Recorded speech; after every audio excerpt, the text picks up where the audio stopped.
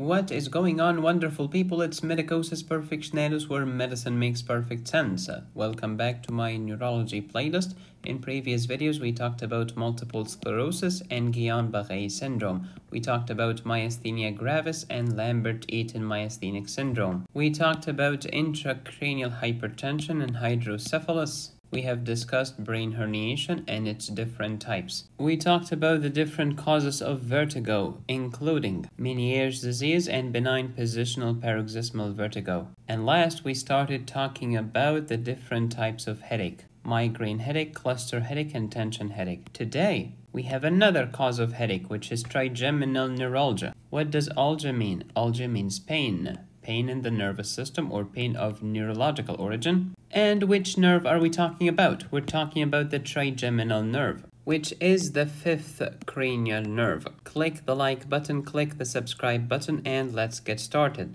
I have two neuro playlists on this channel. The first is called Neuroanatomy, which talks about anatomy of the nervous system, and I have a special video just on the trigeminal nerve. And the second playlist is Neurology, which has neuroanatomy, neurophysiology, neuropharmacology, and neuropathology. If you want to learn about migraine headache, cluster headache, or tension headache, please review the previous videos in this neurology playlist. If you want to see more videos like this, please drop a brain emoji in the comments. Please recall the red flags of headache. And the mnemonic is SNOOP. So we have double S, we have double O, and lots of P's. Systemic signs and symptoms such as fever, such as nuchal rigidity, positive Kernig's sign, positive Brudzinski sign, all of these are red flags. Secondary risk factors such as cancer or immunosuppression are red flags when they come with the headache. Neurological signs and symptoms that resemble a stroke or other disease. Severe abrupt onset of headache is a red flag. Headache in older people, red flag. Headache that changes in pattern, red flag. Headache during pregnancy, red flag. Headache that changes when you change position, red flag. Headache with papilledema, red flag. Headache that precipitates with Valsalva, red flag. These are the snoop signs. These are the red flags. And if the patient is snooping, the doctor ain't snoozing. You better take these complaints seriously. And in many cases, you need to do an MRI to evaluate further.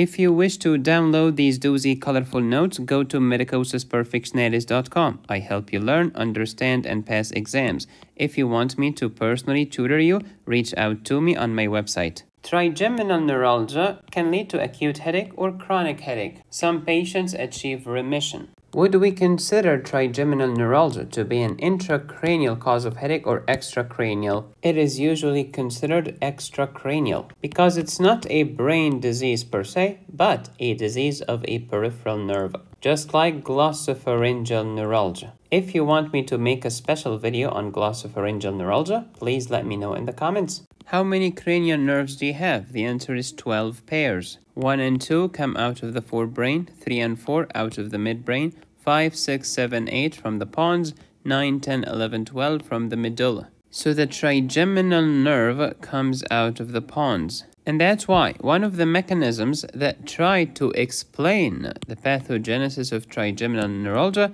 is an abnormal artery or an abnormal vein compressing the trigeminal nerve near the pons. Recall that the trigeminal nerve is mostly sensory. It provides sensory innervation for all of this part of the head, mainly the face, except the area over the parotid gland, which is supplied by the great auricular nerve. Also, the back of the scalp is not supplied by the trigeminal nerve. If you know the name of the nerve or the nerves that supply this back of the skull, please comment below. Besides sensory function, does the trigeminal nerve have some motor function? And the answer is yes. Only the V3 division, which is the mandibular division of the trigeminal nerve, has some motor function as well. It supplies eight muscles, four muscles of mastication and four muscles of no mastication. Do you know these muscles? Can you name them? Comment below. What are the three branches of the trigeminal nerve?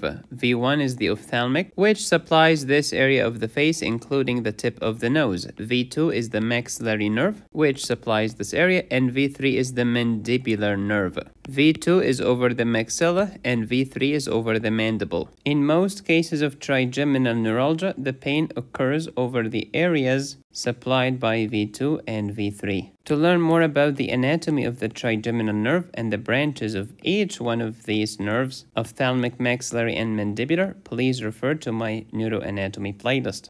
So here is everything you need to know about trigeminal neuralgia. It is most common in females than males. The peak incidence is about 65 years of age. The first presentation is usually between ages 40 and 70. Symptoms unilateral pain that is intense, that is paroxysmal, meaning it comes in attacks. Repeated attacks of stabbing pain in the sensory distribution of the trigeminal nerve, particularly V2 and V3 the maxillary and the mandibular. This pain is triggered by touch. The classic example is a guy shaving his beard, a lady applying makeup, someone brushes his or her teeth, someone wearing a turtleneck that reaches the distribution of V3. Some patients have facial spasms that are painful, and that's why the old name for trigeminal neuralgia was tic douloureux. Tic is the spasm douloureux from dolor, which means pain, i.e. painful spasms. Tic douloureux. The duration of the pain in trigeminal neuralgia varies from 3 seconds all the way up to 1 minute. Trigeminal neuralgia could be divided into primary and secondary. Primary is idiopathic, meaning the cause is unknown.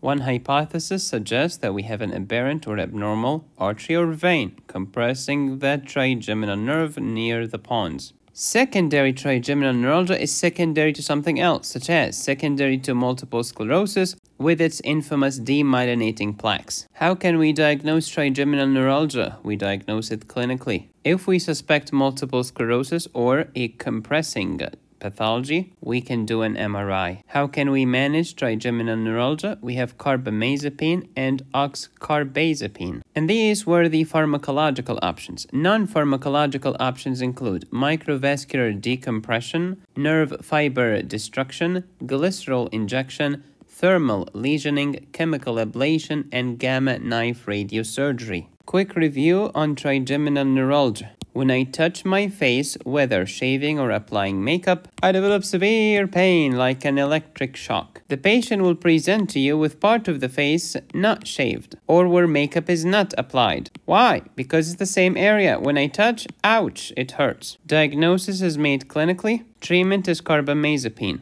Carbamazepine is also an anti-seizure medication. To learn about the anti-epileptic medications, I have a special video on this topic and you can find it in this neurology playlist. Don't forget to take a look at my neuroanatomy playlist. To learn about anti-epileptics, antidepressants, antipsychotics, anti-Parkinsonian medications, the opioids, the anesthetics, the stimulants, and the sedatives hypnotics, download my neuropharmacology course at medicosisperfectionalis.com. To learn about the different types of strokes, myocardial infarction, cardiac arrhythmias, ARDS, acute limb ischemia, drowning, and the toxidromes, download my emergency medicine high yields course at medicosisperfectionalis.com. To learn about neurosurgery, cardiothoracic surgery, trauma surgery, orthopedic surgery, pre-operative care, post-operative care, and more, download my surgery high yields course at medicosisperfectionalis.com. If you value what I do, help me make more videos by supporting the channel. Go to buymeacoffee.com slash medicosis. There are more than 600 premium videos available on this channel when you click the join button and choose the highest tier. Please subscribe, hit the bell, smash like, support my channel on Patreon, PayPal or Venmo,